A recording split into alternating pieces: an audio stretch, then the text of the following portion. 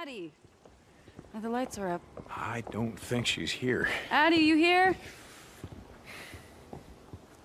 Okay, well, strip. Strip, strip what? Take your shirt off, sit on the table. Hey, look, it's nothing. Deacon, do you want an infection? Mm-hmm. I may be an engineer, Deke, but that does not mean aha, that I don't know how to treat a cut. Yeah, I never would have guessed the way that you were caressing those switches and circuits or whatever the hell you were doing. All right, this might hurt. Just a little bit. Ready?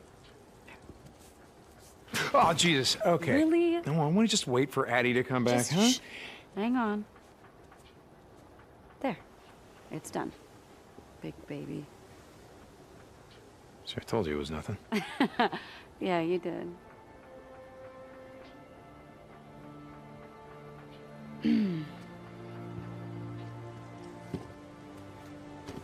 oh, wow. You really have been at war. Yeah, more than one. Shit, that's right. Where was this one? Afghanistan or the MC or after? I, uh. I, I don't remember. What about this one? Rikki, uh. I'm not sure that, uh. Well, I hear that Addie doesn't really like, um. people messing around in her business. Yeah, I, I heard that too. What about this one?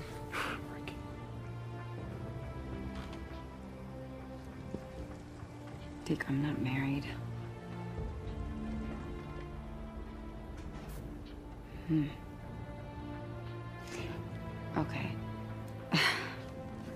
Why don't you come back tomorrow and see Addie, and she's gonna tell you how great of a job I did. Rikki, um.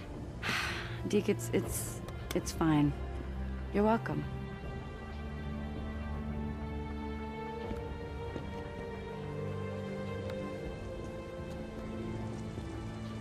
Hey, Deacon?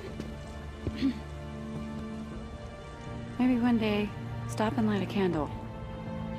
It can get pretty dark and cold out there.